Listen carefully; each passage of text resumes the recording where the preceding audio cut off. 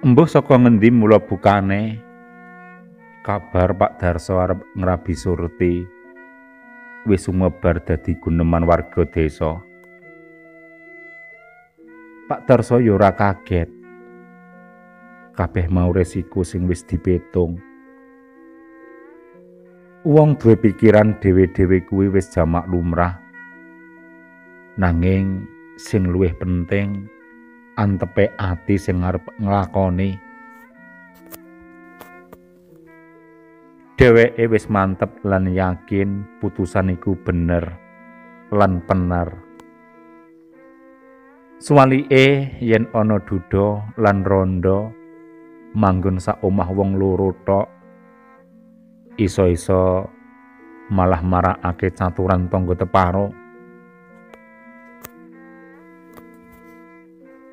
Menawa aku ngrabi surti ning ngendi nggon salahe?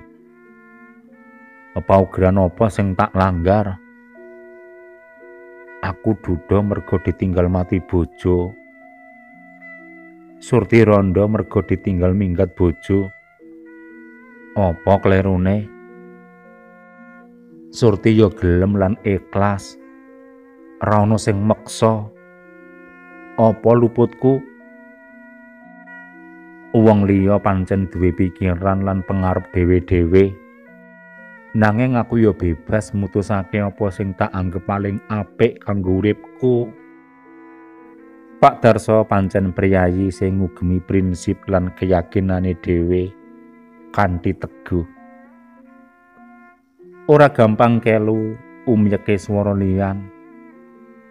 Kanca-kanca kantore ya wis ngerteni watake Pak Darso kaya mengkono.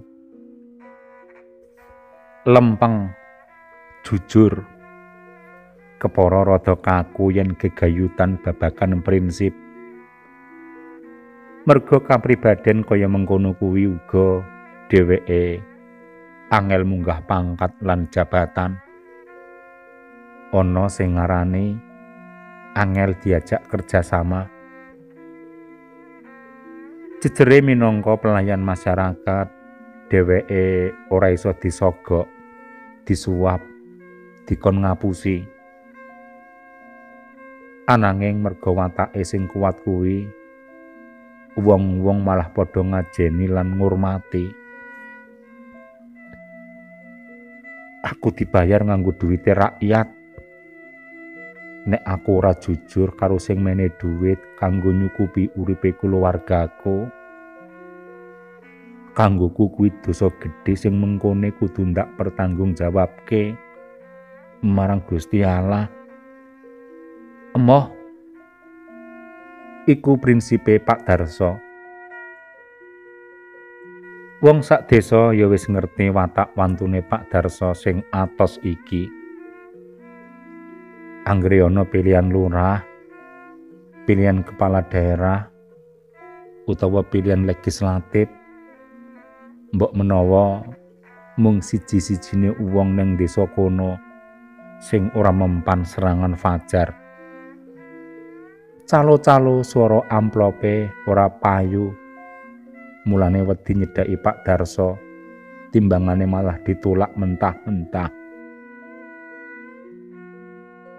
Kabar ngenani Pak Darso arep ngrabi surti iku uga keprungu putrane Pak Darso yaiku Dian, Putri lan Ayu. Putrane sing saiki wis padha dadi ibu iku jam-jaman ngobrol ngalor ngidul nganggo aplikasi WhatsApp sing dadi undere obrolan bapake dhewe Pak Darso. Duda Yuswa udakara 57 taun. Merga bojone wis ndisiki sowan Gusti rong taun kepungkur. Tri. Kowe seneng po yen duwe simbok kualon? Dian Putri mbarep takon marang adene. Rasudi aku, Mbak. Apa maneh mbok kualone Yusurti? Sing biyen momong awake dhewe saute putri karo menjep yen kowe piye yuk Pitakone Dian kanggo Adi Ragile. Ayu. Apa ora ana liyane sik luwih pantes? Mosok bapak oleh pembantu. Apa kata dunia? Jawabe karo cekangkaan. Dian putri mbarpe Pak Darso saiki neng Jakarta dadi pegawai negeri bojone polisi. Adike putri pegawai bank BUMN ning Surabaya nikah karo dosen swasta. Ragile Ayu dadi guru SMU ning Purworejo isih lajang kabeh putrine Pak Darso wis mapan nanging ora ana sing manggon ning omah mulih paling-paling setahun pisan pas lebaran merga kabeh duwe kesibukan dhewe-dhewe. Sakjege Budarso ora ana. Pak Darso kerep krasa kesepen. Urip dhewean. Apa maneh yen bayangake taun ngarep wis pensiun. Pancen resik-resik omah karo umbah-umbah isih dibantu Yusurti. Nanging kanggo dahar kareben ora repot putri-putrine ngusulake rantangan wae. Mung dhewean repot yen mangsak dhewe usule Dian. Adik-adike ya sarujuk kabeh. Pak Darso manut wae kanggo nglegani anak-anake. Kabar kasakusuk yen Pak Darso cedhak karo Yusurti wis tekan putri-putrine. Ana tangga sing nglaporake kabeh anake kompak ora setuju. Mulane ngelengake arep mulih bareng kanggo ngrembug perkara wigati iki. Iki nyanggul martabat lan nama baik keluarga Darso. Mula ora iso dijarke wae. Pak Darso wis krasa kok ndingaren anak-anake padha mulih bebarengan ora pas lebaran meneh. iki mesti ana sambung rapete karo perkara sesambungane karo Yusurti. Ya, aku kudu ndandaki perkara iki. Ora apa-apa. Batin atine Pak Darso. Pas dina sing wis ditemtokake, Dian, Putri karo Ayu mulih bareng. Ngumpul bareng neng omah. mestine kedadian longko iki agawe bungah lan sumringah Bapak iso kumpul bareng karo putra putrine cacah telu saka luar kota arang banget nanging nyatane swasana kaku lan ngati-ati katon krasa banget sapa waruh wae gur kanggo lamis-lamis ora ana rasa sing rumaket bengi kuwi kembul dahar bareng ning omah. Kabeh daharan dipesen online dening putri-putrine dadi ora repot. Sawise dahar bareng, Pak Darso buka ngendikan kanthi tenang. Eh, kok kadingaren padha iso mulih bareng-bareng? Apa ana perkara sik wigati? Pitakone Pak Darso. meneng kabeh siji mleroke karo nyikut liyane Dian sing wani mangsuli pitakone bapake kejawi kangen bapak kula mireng kabar ingkang boten sae kagem bapak ugi kulawarga Pak Darso dehem karo unjal ambegan babakan Yusurti Pak Darso takon karo mesem. Putri-putrine ndingkluk kabeh. Umpama kabar kuwi bener, piye miturut panemumu? Aku pengen krungu langsung. E menapa sampun Bapak penggalih kanthi jero? Kula aturi eling bilih Bapak wonten desa mriki dados panutan. Kados pundi reraos tiyang kathah? Dian mangsuli. Yen miturutmu dhewe dudu apa omongane wong liya? Mak klakep. Dian ra iso mangsuli.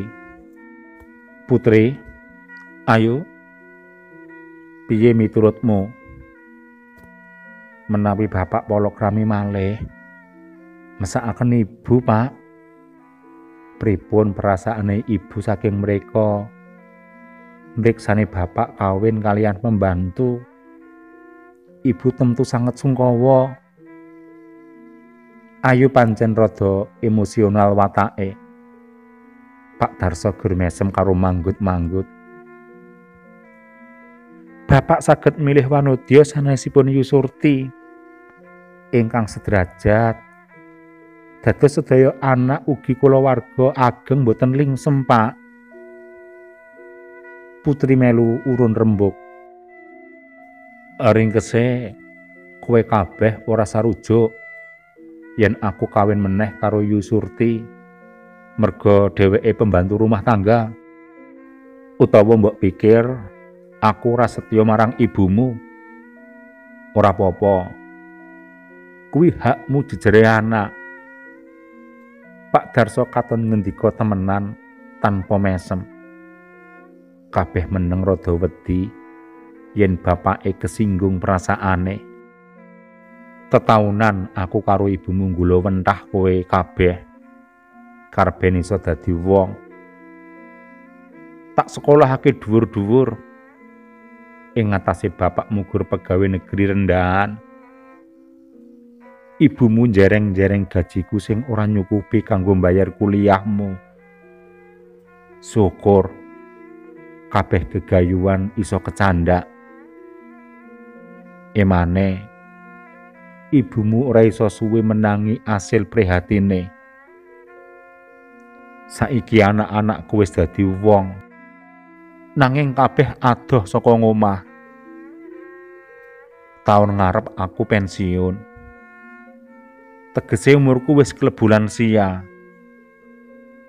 Artine kekuatan ragaku mesti uga wiwit susut. Wang sulono kanthi jujur. Umpama sewektu-wektu aku lara, kepara opnam neng rumah sakit. Sopo sing iso mulih ngurusi awakku? Piye yen aku lara parah kudu dirumat suwe neng tempat tidur? sapa sing gelem ninggalke gawean? Keluarga. Kanggo ngurusi bapakmu iki. Kabeh tambah ndingkluk. Malah mripate ana sik kembeng-kembeng. Janjane sing egois kuwi aku apa kowe kabeh aku karo ibumu wis ngurbanake sakabehe kanggo masa depanmu lan eling aku ora njaluk balesan saka kowe kabeh. Kowe bebas milih dalan uripmu dhewe-dhewe. Aku ora arep ngrepoti anak-anakku. Gaji pensiunku cukup tak nggo mangan wong loro. Aku gur butuh kanca. Butuh uang sing iso bareng-bareng ngisi sisa uripku kanthi tentrem. Aku gur njaluk pangertenmu. Nanging yen kuwi abot kanggomu, ya wis ora. Tak lakoni urip iki dhewean. Yen mengko aku ora kuat, aku nyang panti jompo karben ana sing rumat. Saiki malah padha sesenggrukan. Ngerti kabeh. Ora wong sing tak tresnani ngluwihi ibumu. tekan detik iki aku percaya semono uga ibumu pitakonku awet tresnane ibumu kanggo aku apa dheweke pengin uripku seneng apa sengsara aku yakin ibu sedih mriksani saka kanane yen uripku sengsara ra ana sing ngrumat Yusurti orang ganti katresnanku marang ibumu. Dheweke malah mbiyantu ibu ngrumat awakku. karben masa tuwaku ora kapiran. Muga-muga kowe kabeh iso ngerti. Dumadaan anak telu iku nangis bareng karo ngrangkul bapakne. Nyuwun pangapunten, Pak. Para putra panjenengan namung mikiraken kepentinganipun piyambak. Mboten kangge kesaenane bapak. Mboten mangertosi penggalianipun bapak. Esuke anak-anak wis padha bali nyang kutane dhewe-dhewe. Kari Pak Darso dhewean ngrasakake kasepen maneh. Nanging saiki ana rasa lega. Pak Darso banjur mesem karo unjal ambegan.